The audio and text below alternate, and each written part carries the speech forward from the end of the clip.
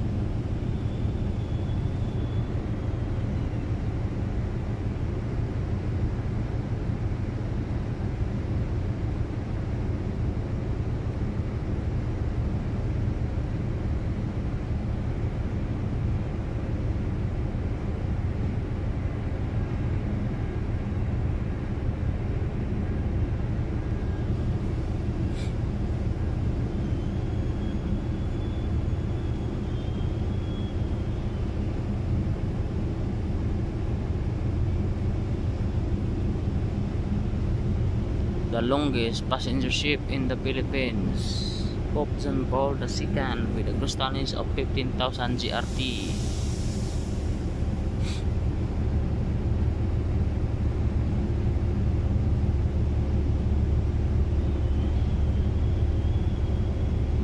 Namimiss ko tong barko na to.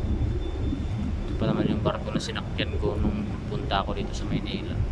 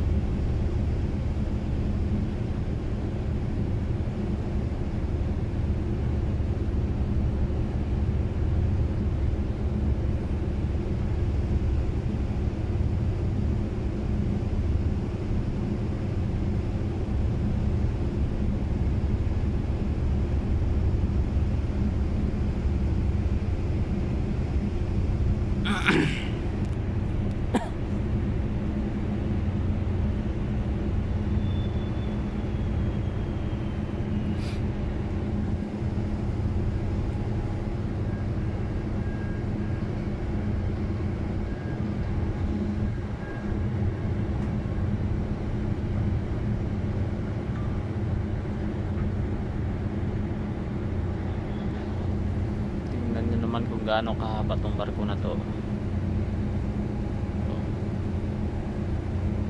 Mas 200 meters mahigit yan.